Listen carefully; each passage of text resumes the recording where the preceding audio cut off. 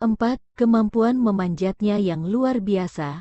Setiap hewan predator biasanya memiliki keunikan tersendiri dari segi kemampuan berburu, tak terkecuali dengan macan tutul yang juga memiliki kemampuan berbeda, yaitu memanjatnya yang luar biasa.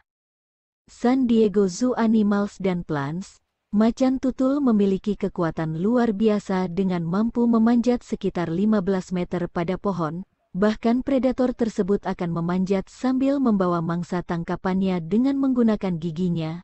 Meski ukuran mangsanya mungkin lebih besar dan lebih berat dibanding berat tubuhnya sendiri, kemampuan ini akan membuat hewan predator lain seperti singa dan hiena tidak dapat menangkapnya.